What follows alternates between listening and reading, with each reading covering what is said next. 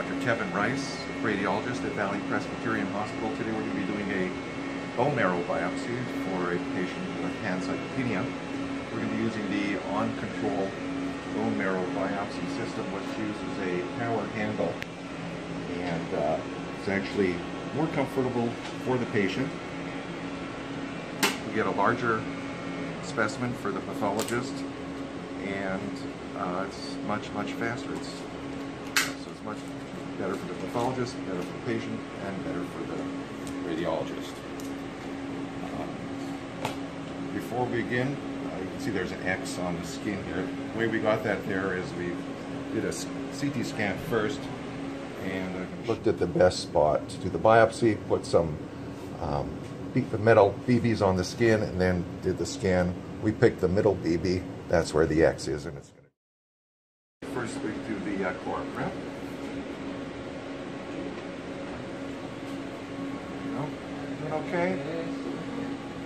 The other advantage of doing it in radiology is uh, we have a wonderful nurse here who's giving the patient some medication to help her Hello. through the procedure. Yes, I'm making her comfortable. Beach. And she's feeling very relaxed now. So we have the now the sterile drape. Now the lidocaine, 1%. Okay, you're gonna feel a little needle poke here. It's the anesthesia. Alright, might sting a bit.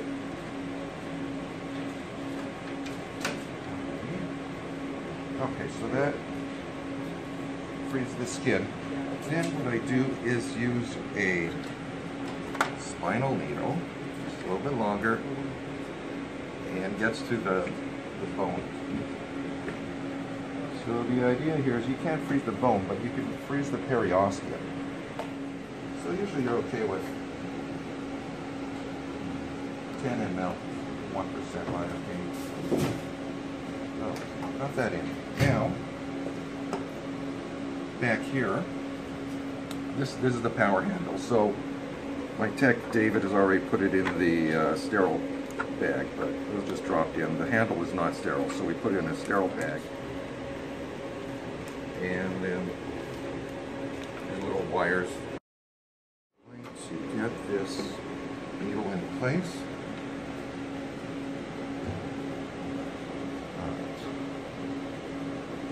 So you can make a nick in the skin. My tray comes with a scalpel, but I find if you just gently uh, advance a little twisting motion, you can get it through the skin nicely and then less bleeding afterwards. Straight. So got it in place. I attach the power handle. Alright, so we can go in a little less than a centimeter.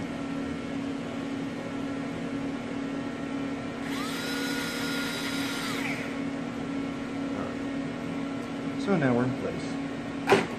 Now we're going to get a CAT scan to make sure it's in the exact uh, location that we want it to be and the angle is correct.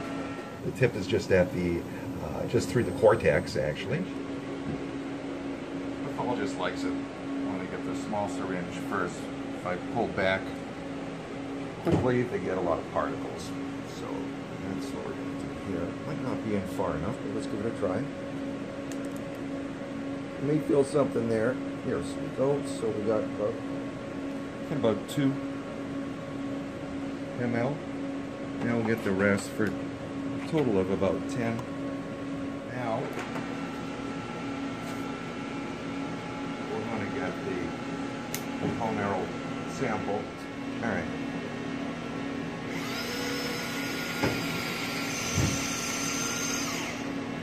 All right. So that's our sample. I'm going to take it out of here in a second. So now we have the uh, bone marrow specimen in this needle. Cut that off. Now, we are going to get the specimen out of the needle. Very important to put on this sharps protector so that the end of the needle is sharp. Put this on, and then this is a blunt tip, so it pushes the specimen out. So I'm going to just push it onto a slide. Can be a little bit of bone uh, aspirate first, and then we can feel the bone marrow come out. Should be about 4 cm long, which is, there you go. Wow. So a great specimen there. We're just very happy. How happy is our pathologist? Okay, and patient's happy. We got our uh, tech David here putting some pressure on this uh, on the site for the last few minutes. It's biopsy site now. So just needs a band-aid, then we'll be all set. Watching.